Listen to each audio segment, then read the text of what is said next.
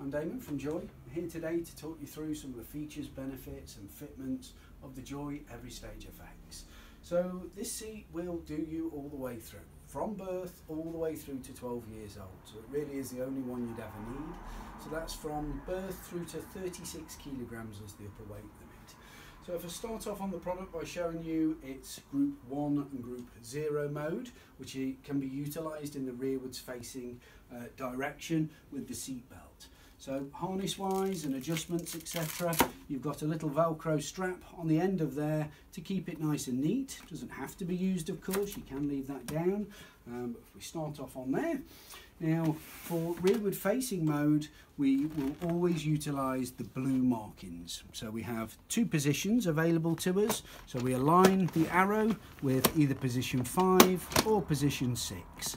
Position six I would tend to always use for a newborn, um, but as the children get older, say at three, four years old, you might find that they want to sit slightly more upright, so of course you can select position five. So start off in position six, and to operate your recline, there's a simple lever at the front there that moves it on the base system. So again, ensure it's aligned with the arrows. What we've then got to do is locate the seat belt. So we need to first of all pull out the harness, so depress the button in the centre, which is hiding through a little hole here. Pull below the shoulder pads, get your finger below those and always pull forwards and downwards. So the reason we don't pull on the pads themselves is they are connected so they remain in the correct position at all times. The belt will feed from the top.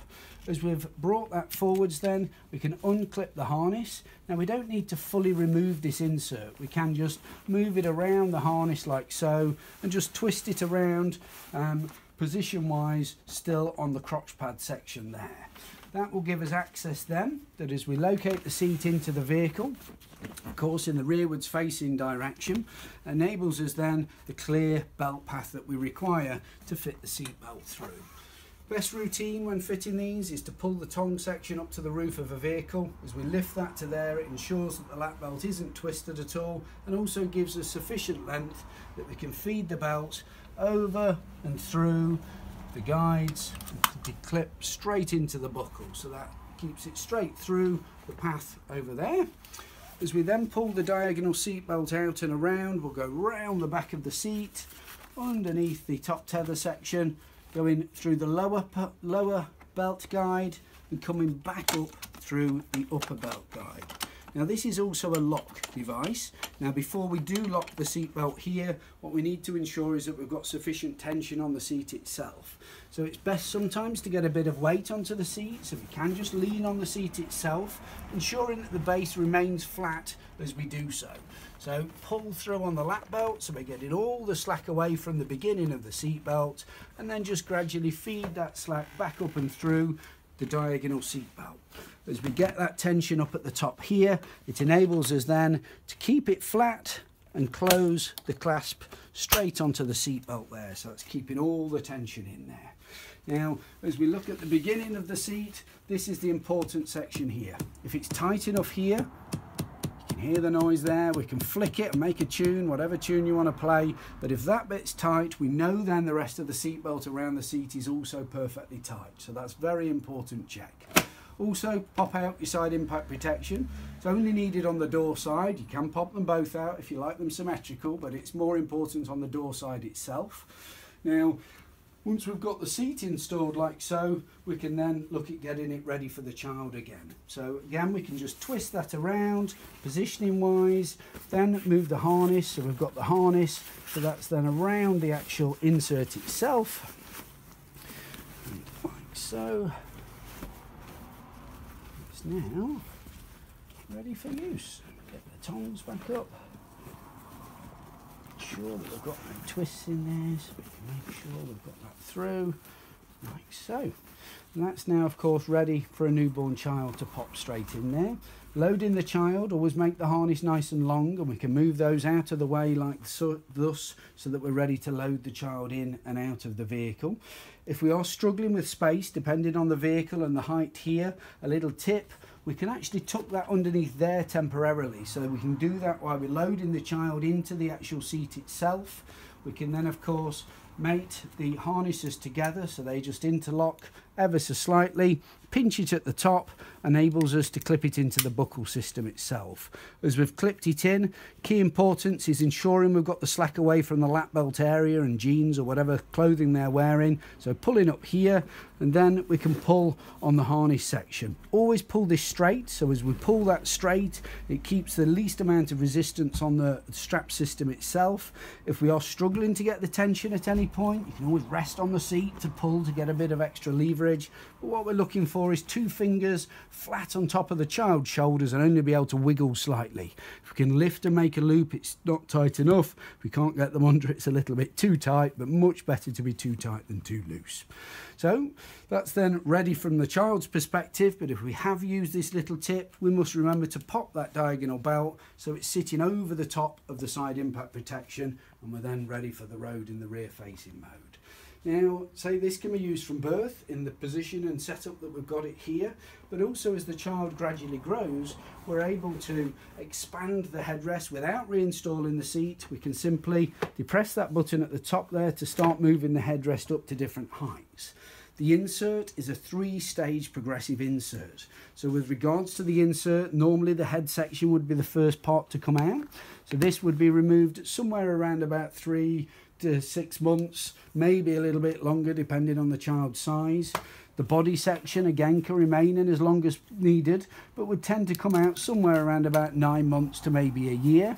And you'll find that is attached to another wedge system. So that can be removed there like so.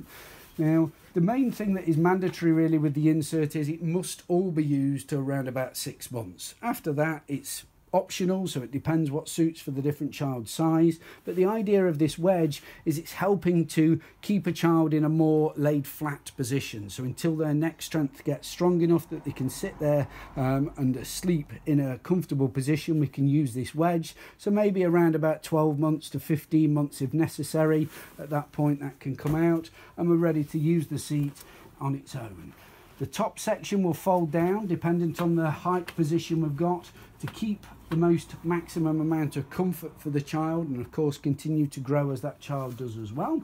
And we can utilize the harness without the insert in exactly the same manner. So extend it to make the child uh, bigger for the child but then always pull up here pull the harness tight double check if necessary readjust the tension and we're ready to go. And then as we come back to get them out below the pads finger on both pull forwards and downwards to make it longer.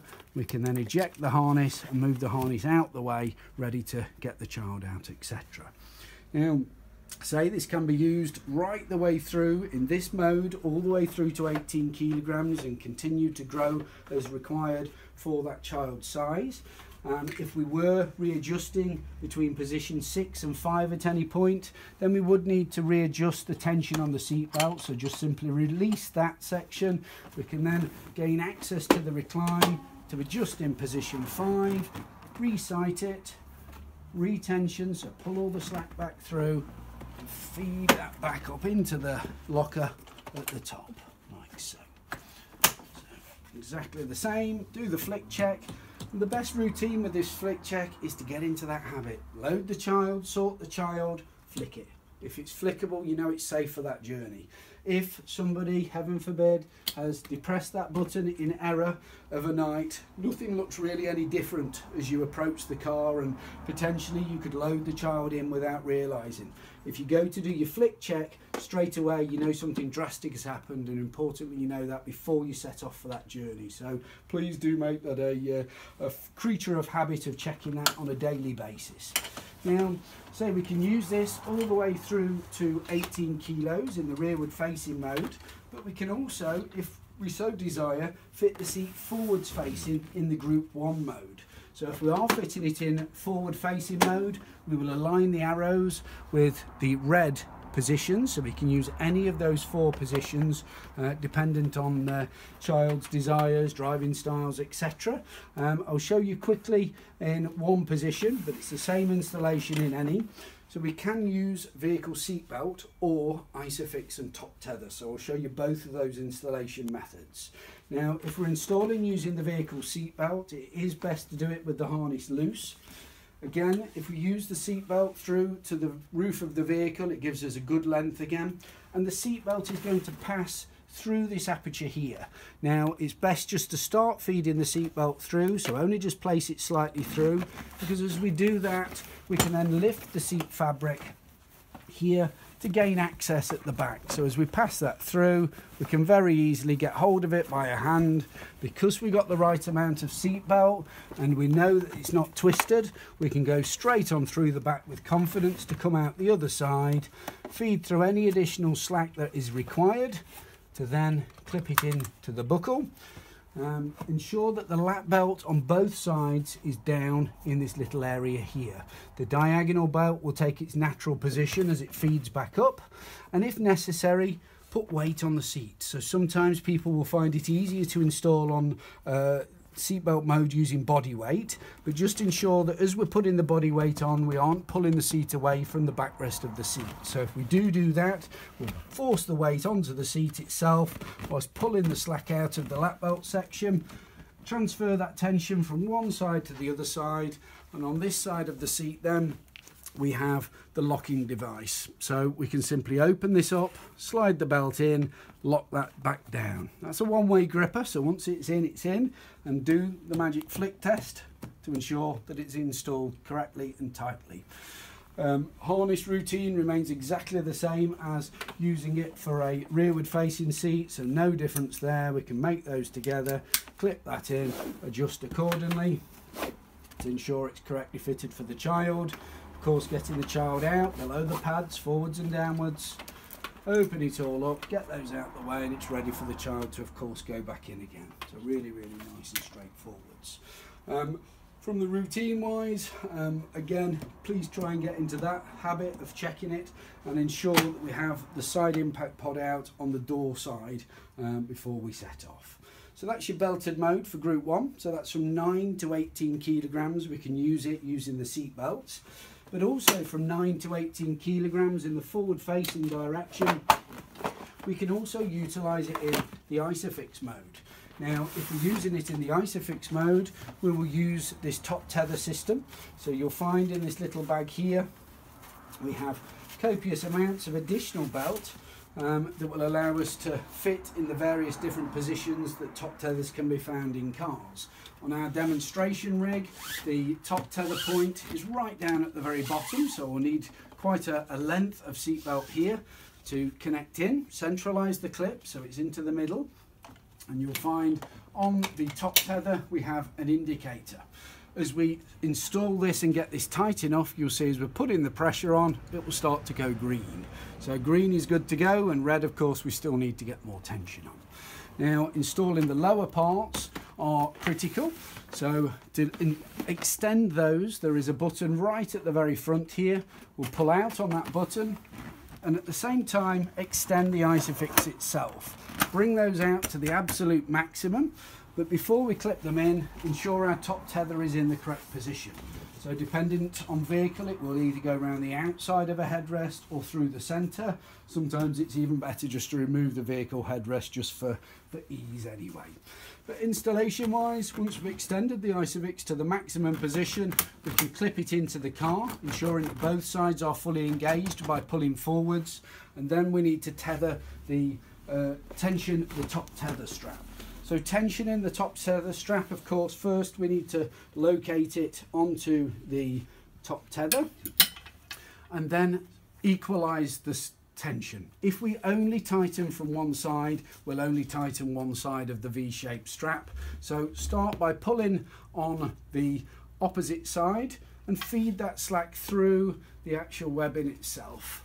As we're feeding that through, as we start to pull the tension then, you'll see that we keep and maintain the tension on both sides so that then once it's tight it remains tight and you'll see the opposite side is also nice and taut as well. So very very easy to keep the tension and move that through if you fed it through the clip itself. Once that's in then that's in and ready to go. But if we do adjust through any of the different recline positions dependent on vehicle you might find that that adjusts the tension on the top tether strap Okay, so in some cars we're going to need to adjust that and also adjust the recline position of the Isofix itself. So as we've sat that up, we've lost contact with the back of the seat. So we need to operate that button there to slide the seat back so we're gaining contact up at the top as well. So easy enough to do and can all be done even if the child was in there. We then need to again equalise that pressure so we're pulling the slack through before we tighten the top tether to again gain the green. Okay, so quite straightforward and easy once you know the routine and the principles with it. Harness remains the same as what we've seen utilising it in the forward facing. So belted or isofix and top tether and forwards facing from 9 to 18 kilos, so approximately a year through to four years. We could use either of those two modes if we desire. After this point, we can start to use it as a high back booster seat. Now we can start to use the seat as a high back booster from 15 kilograms. Ideally try and keep the children in the harness driven element until at least 18 kilos if possible. Um, but anywhere from 15 we have got that as an option to then start to use it then forwards facing. Now, with regards to uh, the usage, the product can be used, of course, in booster seat mode without its harness. Now, the clever thing with the uh, Everystage FX is the fact that the harness hides away. We never take the critical safety equipment off the product. So we can undo these two press studs here, lift the flap up on the headrest as you saw there. These harness pads then will simply drop straight into those lovely little holders there. So very, very quick and easy to do. Very nice and neat, like so. The crotch buckle here will be fed through the seat cover and underneath here is a little storage compartment. So lift the lid on the storage compartment allows the buckle to drop straight in place like so. Reconnect your press studs here and here drop that back down and we are now ready as a booster. So you might be thinking why have I left this part in there? Well the great thing with the Everystage FX is we've created a fourth point of contact using this pad. So you'll pull this flap forwards which can then velcro of course in place and the beauty and use of this is when we're using it with the vehicle seat belt. So we place the child in there, they've just come from a five point harness system and we can still use this to feed the lap belt under. Now the benefit of that being is that it's giving that child the same feeling of security as to what they did have and also helping to reduce some loading. Now diagonal belt will just slide through the top here and into the guide. That's done and of course say as the child's in here with this fourth point of contact their legs are coming from underneath here it's giving them both abdominal support and comfort as well as additional security now it can be used in this mode using the ISO safe lower connection so we can keep that in place which helps keep the seat nice and stable. We can utilize any of the four recline positions so if we're going to recline it we need to slide the seat further out to be able to then adjust position and always ensuring that we've got contact at the top of the seat. Quite often in cars you'll find you need to remove the vehicle headrest so that we're not getting unnatural contact there. Um, and this fourth point of contact can be used for as long as necessary. So it can be used all the way through to 12 if really desired, but at any point we can open the flap and undo the velcro at the bottom here to remove that point to use it as a more traditional style booster seat with the belt going through. So as we feed the belts through, we need to ensure as the child's in that the lap belts are down in this little trough area and the diagonal belt is also coming from that point, which will ensure as to whatever height the child is, the belt is always guided through the center of the chest and the side of the child's shoulder. Now, if we are using the Everystage FX without the lower ISO safe connections in place, so simply eject those, no problem. Use the front lever to fully store the ISO-safe connections.